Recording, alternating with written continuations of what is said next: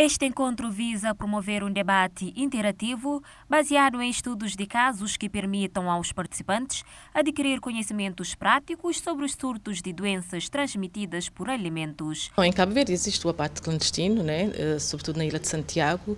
Eh, portanto, temos um, matador cada Câmara, eh, praticamente todos os conselhos do país têm matadores que fazem, portanto, da, gestão da Câmara, das câmaras municipais, mas ainda existe abate clandestino. Né?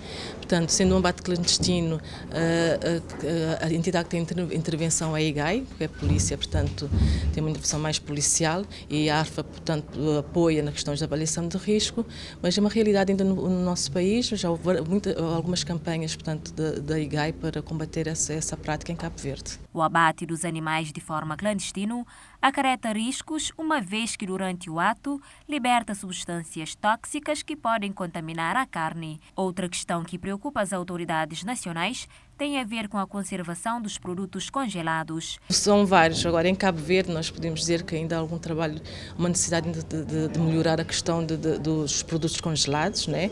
Vemos que em alguns estabelecimentos os produtos são, são, congelados de forma errada ou são descongelados e congelados outra vez.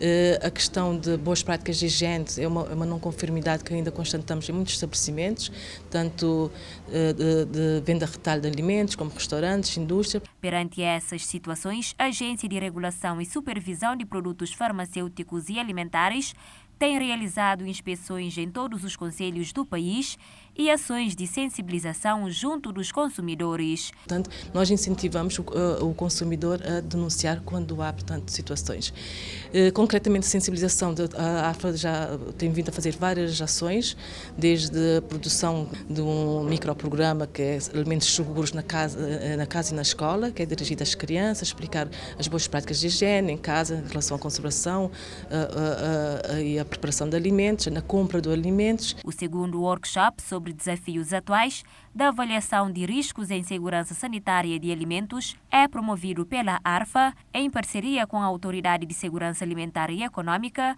e o Instituto Federal de Avaliação de Riscos.